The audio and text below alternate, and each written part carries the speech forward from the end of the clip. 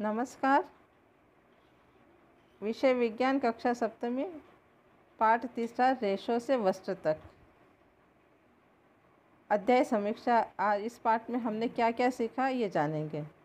जंतुओं से प्राप्त किए जाने वाले रेशों को जानतो रेशे कहते हैं। यानी जो जंतुओं से रेशे मिलते हैं, उन्हें जानतो रेशे कहा जाता है। ऊन के रेशे या फाइबर, भेड़ या याक के बालों से प्राप्त किए जाते हैं, जबकि रेशम के फाइबर, रेशम कीट के कोकून से प्राप्त होते हैं। ऊन के रेशे भेड़ या याक, बकरी इनसे प्राप्त किए जाते हैं और रेशम के फाइबर रेशम कीटों से ही प्राप्त होते हैं।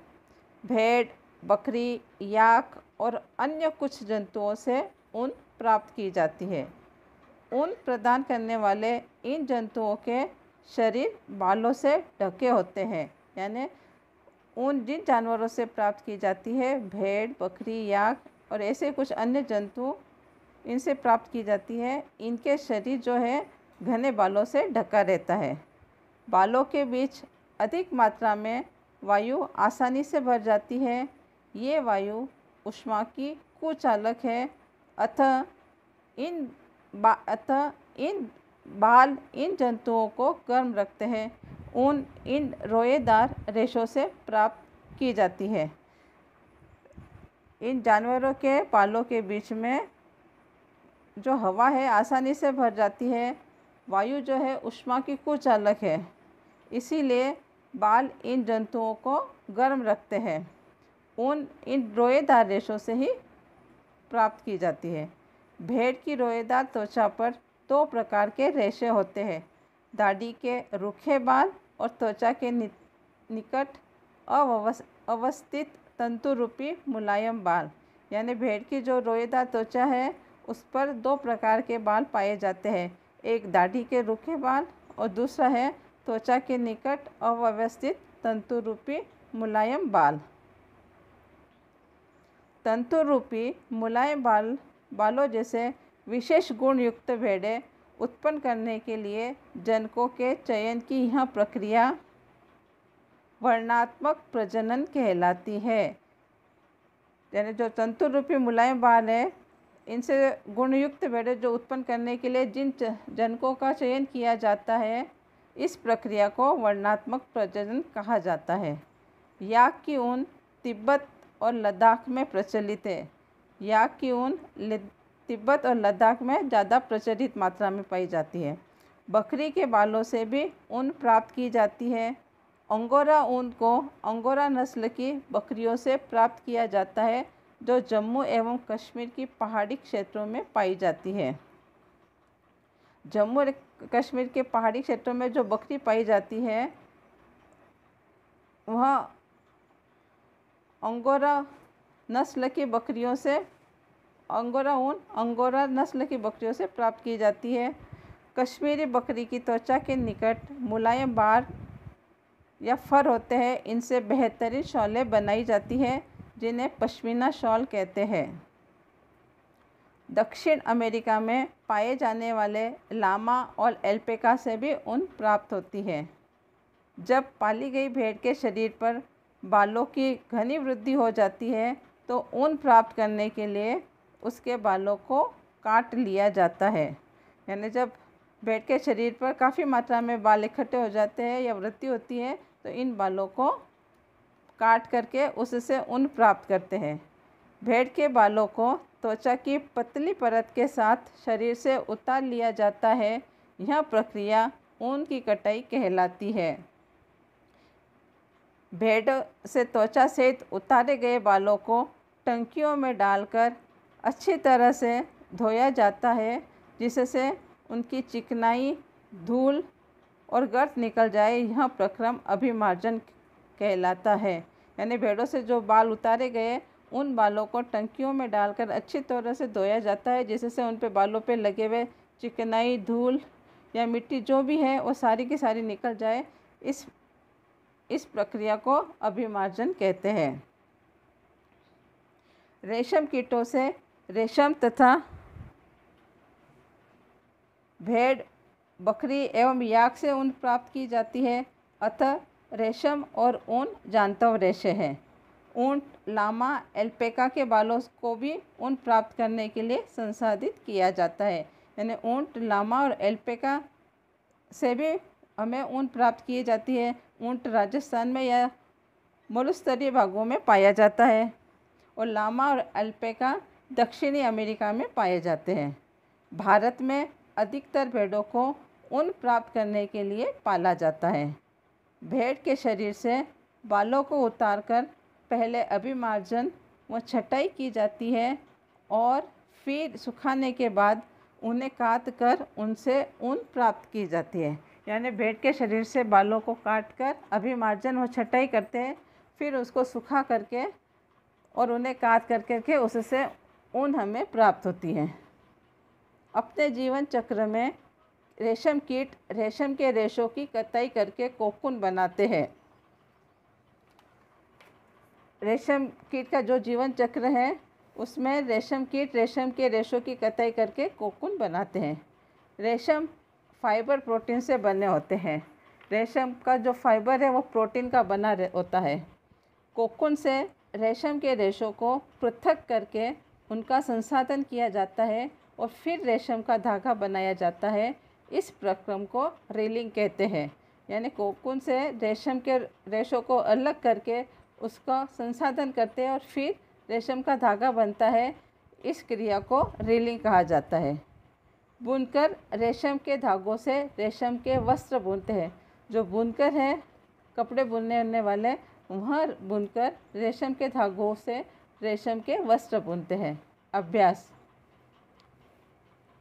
संभवतः आपने नर्सरी कक्षा में निम्नलिखित पंक्तियाँ पढ़ी होगी। Baa baa black, sheep have you any wool इसका मतलब है कि ब्लैक शिप यानी काली भेड़ है कि किन भागों में ऊन होती है? Baa baa black, sheep have you any wool यानी ब्लैक शिप के या काली भेड़ के किन भागों में ऊन होती है? तो ब्लैक शिप या काली भेड़ के पीठ व पेट पर ऊन होती है। ख, Mary had a little lamb whose fleece was white as snow. इसका मतलब है मेमने या लैम्प के सफ़ेद रोमों का क्या तात्पर्य है? Mary had a little lamb whose fleece was white as snow, यानी मेमने या लैम्प के सफ़ेद रोमों का क्या तात्पर्य है? तो सफ़ेद, या मेमने मेमने या लैम्प के सफ़ेद रोमों का तात्पर्य सफ़ेद बालों से है, जो ऊन बनाने में काम आता है। तो इसका पहले का उत्तर है, क्या काली भेड़ के किन भागों में ऊन होती है? तो काली भेड़ के पीठ व पेट पर ऊन होती है और मेमने या लेम के सफ़ेद रोमों का अर्थ है, या तात्पर्य है, सफ़ेद बालों से है जो ऊन बनाने में काम आते हैं। प्रश्न क्रमांक दो। रेशम कीट अ कैटल पिलर ब लार्वा है, सही विकल्प चुनिए। यानी रेशम कीट और या कैटर पिलर लार्वा है। इसका सही विकल्प है, क केवल अ, ख केवल ब, ग अ और ब और घ, नहीं अ और नहीं ब। तो इसका उत्तर है केवल अ। यानी जो राल लालवा है, वह रेशम कीट है। प्रश्न क्रमांक तीन। निम्नलिखित में से किससे ऊन प्राप्त होती है?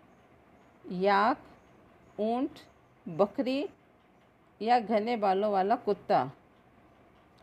प्रश्न क्रमांक तीन। निम्नलिखित में से किससे ऊन प्राप्त नहीं होती? याक ऊँट, बकरी या घने बालों वाला कुत्ता। इसका उत्तर है, घने बालों वाला कुत्ता, इससे ऊन हमें प्राप्त नहीं होती। प्रश्न क्रमांक चार, निम्नलिखित शब्दों का क्या अर्थ है? पहला है पालन।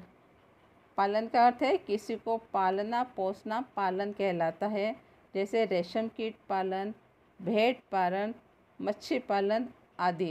यानी पालन का अर्थ हो गया किसी को पालना, पोसना, पालन कहलाता है। दूसरा है ऊन कटाई। ऊन कटाई का अर्थ है भेड़ के बालों को त्वचा की पतली परत के साथ शरीर से उतारने की प्रक्रिया ऊन कटाई कहलाती है। यानी ऊन कटाई का मतलब हुआ कि भेड़ के बालों पे जो पत भेड़ के बालों के साथ दो त्वचा की पतली परत के साथ शरीर से उतारने की प्रक्रिया है, ऊन कटाई कहलाती है। रेशम कीट पालन। रेशम प्राप्त करने के लिए रेशम के कीट को पालना, रेशम कीट पालन या सेरिकल्चर कहलाता है। रेशम प्राप्त करने के लिए रेशम के कीट को पाला जाता है, उसे रेशम कीट पालन या सेरिकल्चर कहते हैं।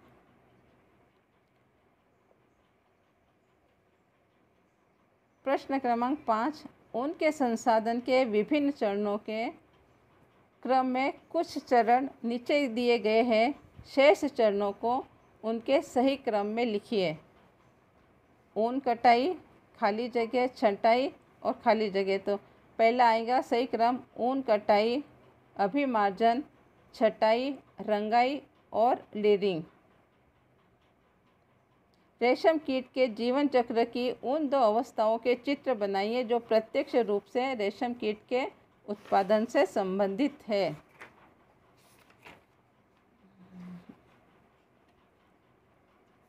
इसका उत्तर पेज क्रमांक तीस पे दिया हुआ है। पेज क्रमांक तीस पे इसका उत्तर दिया, उसमें से आपको चित्र बनाना है। प्रश्न क्रमांक सात, निम्नलिखित में से कौन से दो शब्द रेशम उत्पादन से संबंधित है। रेशम कीट पालन, पुष्प कृषि, शहतूत कृषि, मधुमक्खी पालन या वन संवर, वनवर्धन। यानी रेशम उत्पादन से संबंधित क्या है, इसका उत्तर बताना है। इसमें संकेत दिए हुए, पहला संकेत है, रेशम उत्पादन में शहतूत की पत्तियों की खेती और रेशम कीटों को पालना सम्मिलित है। दूसरा, शहतूत का वैज्ञानिक नाम मोरस एल्बा है। इसमें से हमें उत्तर छांटना है, क्या रेशम उत्पादन से संबंधित क्या है? रेशम कीट पालन और शहतूत कृषि, यानी शहतूत की खेती और रेशम कीट पालन, रेशम उत्पादन से संबंधित है। पुष्प की खेती, ये नहीं है। मधुमक्खी पालन, यानी मधुमक्खियों का पालन, ये भी नहीं है और वनवर्धन भी नहीं है। प्रश्न क्रमांक आठ। कॉलम ए में दिए गए शब्दों को कॉलम बी में दिए गए वाक्यों से मिलाइए अभिमार्जन। अभिमार्जन का अर्थ है काटी गई ऊन की सफ़ाई। अभिमार्जन यानी काटी गई ऊन की सफ़ाई। शहतूत की पत्तियाँ। शहतूत की जो पत्तियाँ हैं, वह रेशम कीट का भोजन है। याक। ऊन देने वाला जंतु। याक है जो ऊन देता है। और कोकुन। रेशम फाइबर उत्पन्न करता है। कोकुन क्या करता है? रेशम फाइबर उत्पन्न करता है। धन्यवाद।